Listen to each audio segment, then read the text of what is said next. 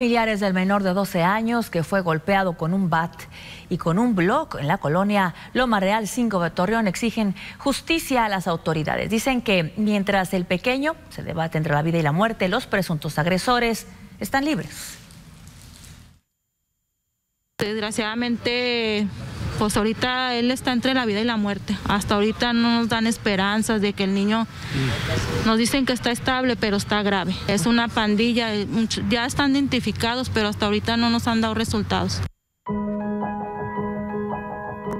El intentar quitarle una gorra o haberlo confundido con otra persona son los motivos por los que Juan Francisco Rodríguez García, de 12 años de edad, se debate entre la vida y la muerte, luego de haber sido golpeado brutalmente por un grupo de vándalos que al día de hoy se encuentran impunes, aun y cuando la madre de la víctima señala que había un detenido, sin embargo, por ser menor de edad, la fiscalía lo dejó en libertad. Yo nada más lo que quiero es justicia y no se me hace justo que él ande, el que le hizo esto al niño ande como si nada mientras nosotros aquí estando con el alma un hilo porque el niño está grave, no nos dan esperanzas. Ahorita el niño, pues, él no, o sea, de primero que lo trajimos, no nos lo aseguraban.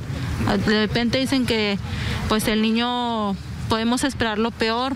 Tenían a uno detenido y como él no fue el que le aventó el blog, o sea, no, no lo... Pero fue uno de los agresores. Digo, ahora la autoridad se está enfocando en quien provocó el daño, pero pues todos participaron. Así es. Él dice que porque él no, este, como él no fue, que tienen que agarrar directamente al que le hizo la agresión al niño pero él también andaba. Son coágulos en el cerebro, así como una serie de fracturas en el cráneo provocadas con bates de béisbol y blocks, las razones por las que Juan Francisco se encuentra en coma, una situación de la que los neurólogos calificaron como un intento de asesinato, motivo por el que los padres del menor, ante su frustración y desde el área de urgencias del hospital, clamaron justicia a la fiscalía que supuestamente ya tiene identificados a los agresores. ¿Por qué debemos de ser conscientes? Ahorita fue mi niño, al rato solo Dios sabe. Somos familia, pues así hicieron esto ahorita que esperan que el día de mañana hasta hay personas que niños que hasta sus propios padres los atacan y no o hay que ser conscientes.